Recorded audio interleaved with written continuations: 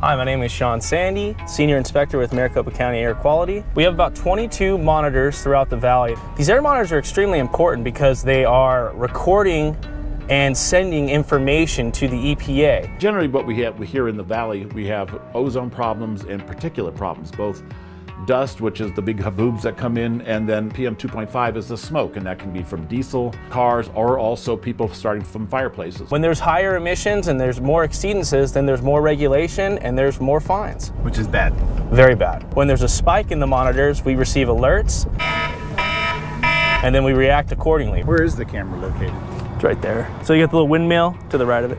So before the cameras, when the alarms would go off at a monitor like Durango, you'd have to base it on your experience, going to the monitor and then scanning the perimeter. And usually it took us an hour to drive out there, and by that time the values were low and we didn't know what was going on. You can see the little node on the top right there of the, the box. That's taking data in. So now that we have the camera here, oh, this is the camera over here on the Durango monitor. I'll be able to log in on my computer, pinpoint the location of the emissions, and then move directly to the source instead of having to canvass the area, potentially looking around for problems that don't exist. We estimated approximately uh, $6,500 saved a year on things like gas. The Rapid Response Program is all about the name, Rapid Response. So you want to be able to receive the data, evaluate the data, and then respond accordingly and document our findings. That is the number one goal of this program. These cameras are just invaluable.